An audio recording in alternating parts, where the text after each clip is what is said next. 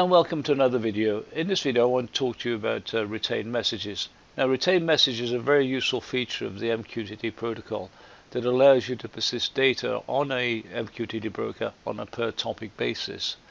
Now normally when a publisher publishes a message um, that message is sent to the broker and it's sent to any um, clients that are subscribing to that um, that topic.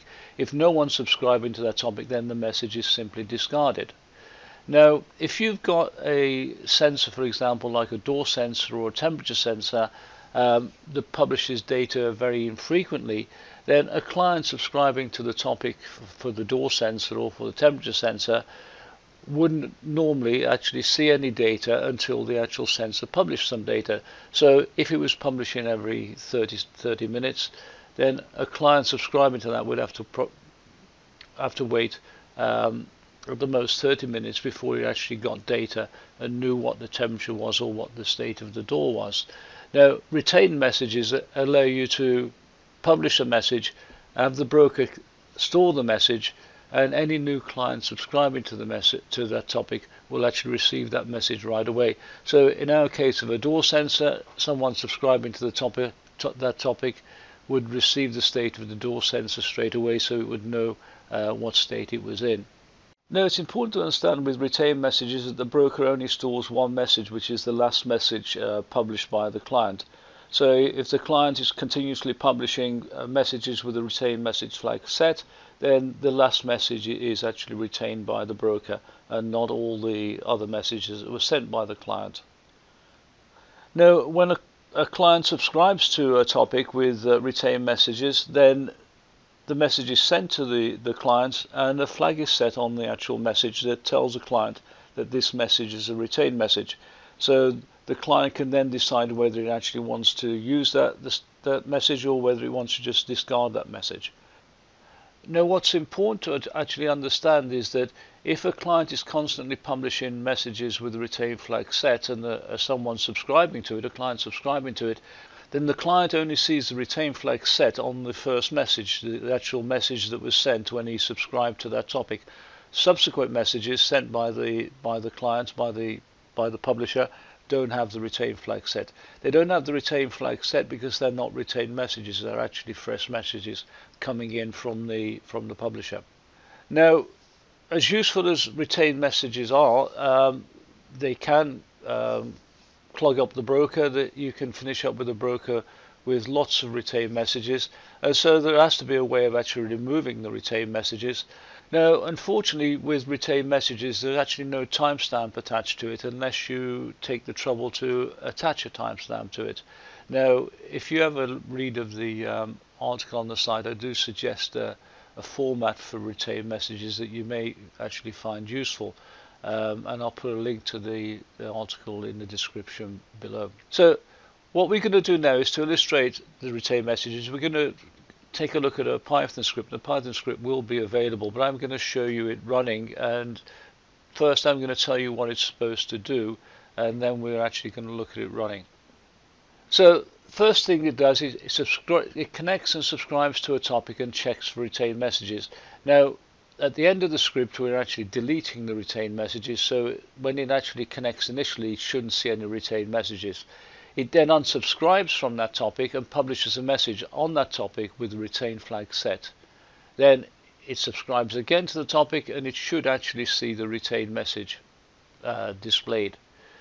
It then publishes a new message on that topic, again with retained flag set. And remember what I said, it's a new message, retain flag set, but it's not actually a retained message, it's actually a fresh message. So we shouldn't see the retain flag being set there. And to finish off, what we do is we create a, a blank payload and then we actually publish on that, on that topic with retain flag set and a blank payload and that will clear the retain message from the broker and then the script the script ends so let's have a look at the script running.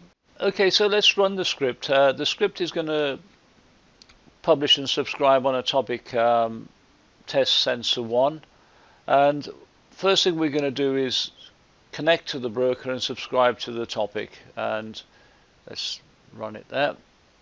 So we connect to the broker we subscribe to the topic and then we wait. And then we see that we haven't got any retained messages and then we unsubscribed from that topic and then we publish on that topic. And once we've done that then we wait again and we subscribe again and this time we do see retained messages. So retain flag is true and then we publish again and we wait. Um, we receive the message but we though a retain flag is set to false because it's not a retained message. Remember it's actually a fresh message and then finally we finish up by clearing the payload sorry setting an empty payload and publishing with an empty payload but with retain flag set on obviously the same topic. And we do actually receive the message back and, and our retain flag is false. And then we just disconnect. So very simple script. Uh, there'll be a link in the video description below if you want to run it and try it yourself. But it does illustrate um, the most important bits of uh, retain messages now just to finish off um, retain messages um, are used in some applications um, as a as a data store, or the broker is used as a data store, should I say. If you into home automation, if you're into Home Assistant, then Home Assistant actually uses retained messages uh, to store uh, configuration data for MQTT sensors. And it's not the only application I've actually come across that uh, uses retained messages in this way um, for store configuration data.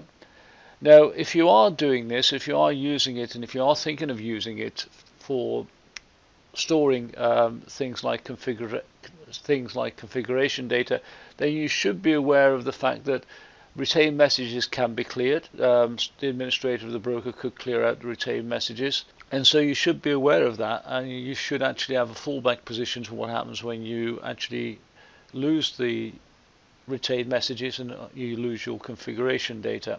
Now, if you have a read of the article on the site, the tutorial on retained messages, I do talk about a, a system of retained messages where you can actually publish the the um, data, the retained message, and whether or not it's um, you, it's allowed to be deleted. In other words, you can actually put a, a flag in there that says uh, don't delete this one because it contains important data. But unless you actually do this yourself, it's not done automatically for you. It's not part of the MQTT protocol. It's something that you have to implement uh, in your application. So that brings us to the, the end of the video. If you like the video, then click on the like button. If you have any comments, then please leave them below. And if you want to get notified of new videos on the channel, then you can always subscribe to the channel and click on the notification bell. So until next time, goodbye.